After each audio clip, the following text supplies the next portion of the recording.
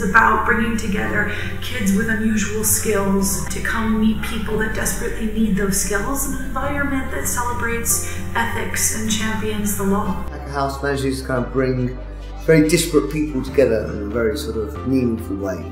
Hacking isn't bad, it just has a bad rep. I'm a computer scientist.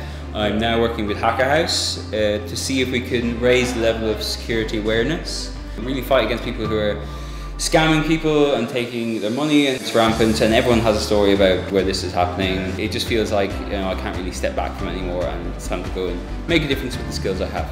So there's clearly some very clever people and then there's some people who, well, they're geeks. Let's, let's put it that way. It's interesting to see what you can get when you bring so many people with so many different and varied good ideas together really. You, you play this technophobe dad whose daughter is involved in some kind of shenanigans. Allegedly, unofficially, shenanigans. So all the elements are now aligning. It's just about making people understand uh, the integrity of the message behind the work we're doing.